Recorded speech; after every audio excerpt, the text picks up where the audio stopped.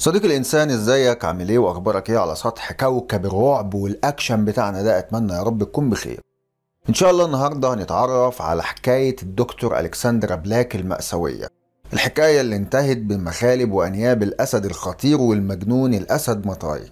وهنعرف تفاصيل الحقن المهدئة والثمان رصاصات اللي اتضربوا في الأسد وفضل عايش برضه كأنه لابس درع. وايه اللي خلى ألكسندرا تدخل القفص بتاعه؟ إيه اللي حصل لها في آخر لحظات مرعبة عاشتها قبل ما تموت؟ لا ده إحنا يلا بينا بقى ومن غير رعب كتير ندخل في الدهاليز على طول ونتعرف على حادثة دكتور الأحياء ألكسندرا بلاك صاحبة ال 22 سنة. بس زي ما إحنا متعودين صديق الإنسان قبل الكلام وجب السلام السلام عليكم ورحمة الله وبركاته. فيديو جديد من صراع العروش.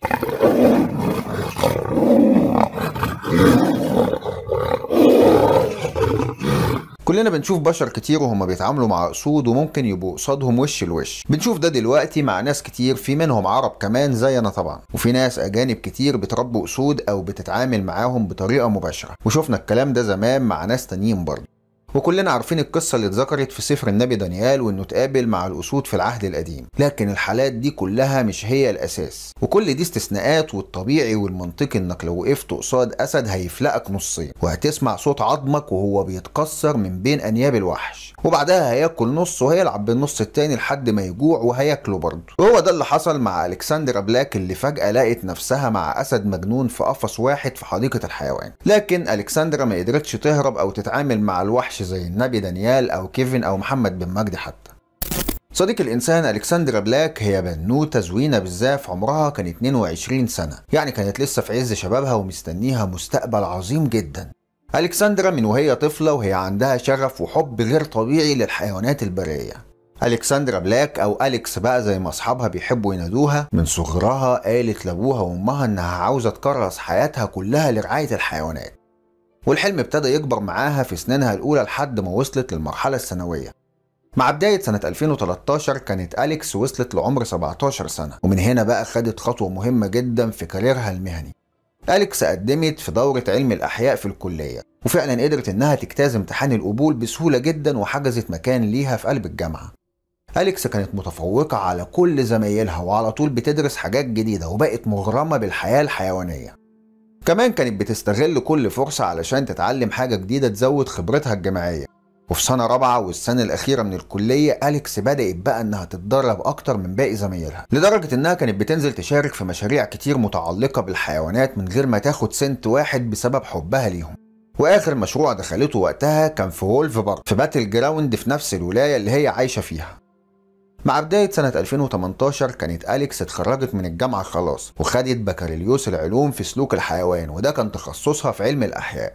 وبعدها بقى ابتدت تكتسب خبرة في تربية الحيوانات وتحديدا الأنواع الغريبة منها وكتبت وقتها على صفحتها إنها نفسها تبقى حارس لحديقة الحيوانات. أليكس كانت شاطرة في كل حاجة تختص برعاية الحيوانات زي التنظيف والنظام الغذائي وإدارة الأدوية والفحوصات الطبية. ده غير التدريب السلوكي بقى والتواصل كمان مع الجمهور اللي بيخاف من الحيوانات وإنها تكسر لهم حاجز الخوف ده. أليكس كانت مفكرة نفسها محمد بن مجدي تقريبا. المهم إن الكسندرا بلاك كمان اتدربت في مركز Wildcat للحياة البرية وإعادة تأهيلهم من تاني. وده كان تدريبها الرابع وبقت محترفة في مايو سنة 2018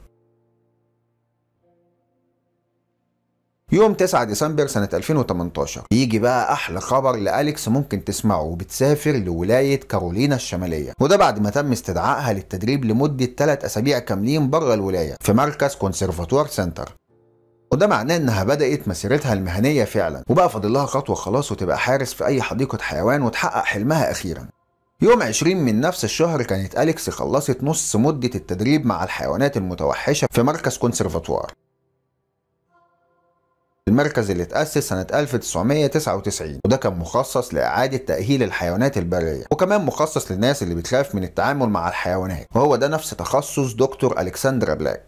المركز فتح أبوابه للجمهور سنة 2007 وكل سنة كان بيجيله 16 ألف من الزوار علشان يتعالجوا من خوفهم من الحيوانات. المركز ده كان موطن للأسود والذئاب والفهود والنمور وال cougar وأنواع تانية كتير من الحيوانات البرية. Conservators Center هو مؤسسة غير ربحية مخصصة لإعادة ربط الأشخاص بالحياة البرية وإزاي إنهم يتعاملوا مع الحيوانات وإزاي كمان يفهموا سلوكهم وإزاي ينظفوا مكانهم ويأكلوهم ويعالجوهم وهكذا. المركز كان موطن ل 15 أسد وصلوا من وزارة الزراعة الأمريكية بعد ما صدرتهم من ولاية أوهايو. الأسود وصلوا سنة 2004 بعد ما تم الإبلاغ عنهم وإنهم بيعانوا من ظروف معيشية سيئة في حدائق الحيوان وكذا سيرك. ومن بين الأسود اللي وصلوا للمركز في ثلاثة منهم خلفوا أكتر من 10 أشبال. من ضمن العشر أشبال دول بقى أسد هيتعرف بعد كده باسم الأسد مطاي. وحسب كلام CBS News إن الحيوان ده كان خطير جدا وشرس وعلى طول متوتر وغضبان بطبيعته. تحسه كده إن روح مستر زفت تي لبسته وبقى نسخة منه. مطاي حاول في أكتر من مرة إنه يعتدي على موظفين المكان لكن نشكر ربنا إنه ما حصلش أي إصابات لأي شخص. وبالرغم من إن كل موظفين المركز بما فيهم المديرة كانوا بيخافوا من مطاي إلا إنهم كلهم برضه بما فيهم أليكس بيهتموا بيه وبيراعوه. يمكن يقدروا يعالجوه يبقى أسد هادي ويتعدل زي الباقيين. يوم 30 ديسمبر سنة 2018 يعني قبل السنة الجديدة بيوم وآخر يوم لأليكس في التدريب قبل ما تستلم الرخصة خلاص. أليكس كانت بتكمل تدريبها عادي بعد ثلاث أسابيع كاملين قضتهم في المكان. أليكس بدأت روتين يومها العادي اللي بتعمله مع الحيوانات زي أي يوم. يعني أليكس صحت الساعة 9 الصبح علشان تنظف أقفاص الأسود زي ما هي متعودة وبعد كده تحط لهم الأكل. المركز علشان يحافظ على سلامة الموظفين بيفصل ال 14 أسد الموجودين فيه وبيحطهم في أقفاص تانية نظيفة. لحد ما الموظفين بقى ينضفوا الحظيرة بتاعتهم وبعد كده ينضفوا الأقفاص المخصصة لكل أسد اللي بينام فيه. الساعة 11 الصبح كانت أليكس خلاص نظفت 10 أقفاص من أصل 14 قفص في المركز. والقفص اللي جاي في السكة دلوقتي بقى هو قفص الأسد مطاي أخطر أسد في المركز كله. زميلة أليكس المتدربة أشلي كانت هي المسؤولة إنها تنقل الأسود للإقفاص البديلة لحد ما أليكس بقى تنظف الإقفاص الأساسية بتاعتهم.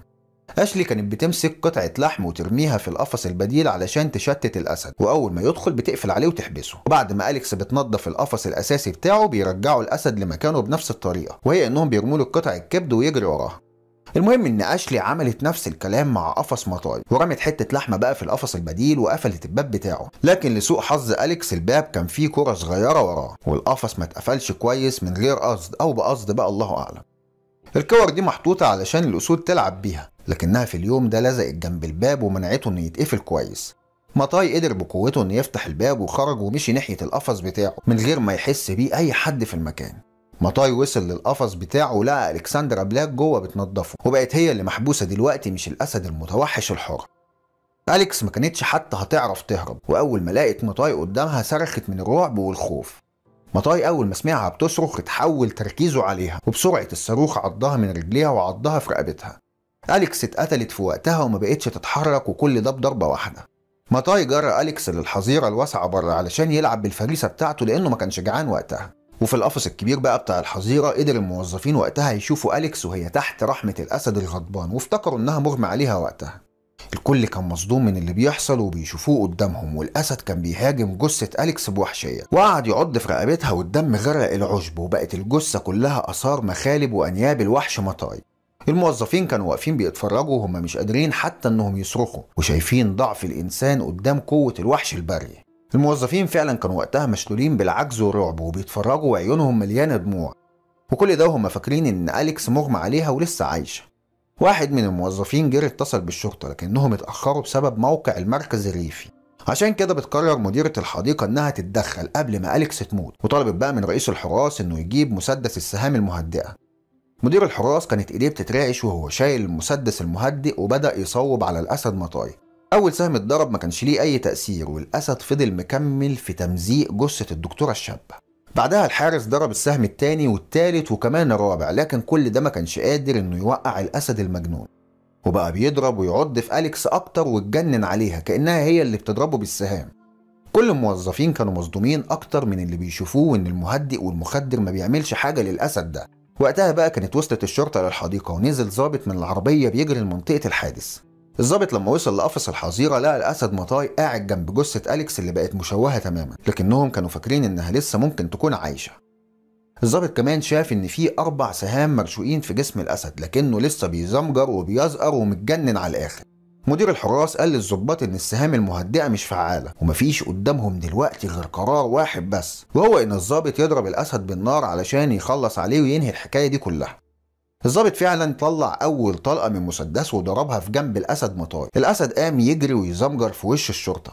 بعدها الظابط بقى ضرب طلقة تانية كمان لكن الأسد الله يخرب بيته ما بيموتش وفضل يتجول ويمشي قدامهم. الأسد كان مصمم إنه هيعيش ويضايق فيهم ويخليهم فاكرينه طول حياتهم. الضابط ضرب الرصاصة التالتة وجت في ضلع من ضلوع الأسد اللي كان لسه بيمشي في الحظيرة جنب جثة أليكس. الضابط قال إنه عمره ما شاف حاجة زي كده في حياته وكأن الأسد ده محصن ضد الموت وجلده مدرع الضابط ضرب خمس طلقات كمان وفي الطلقة التامنة أخيرا بيقع الأسد على الأرض وبيموت جنب جثة أليكس.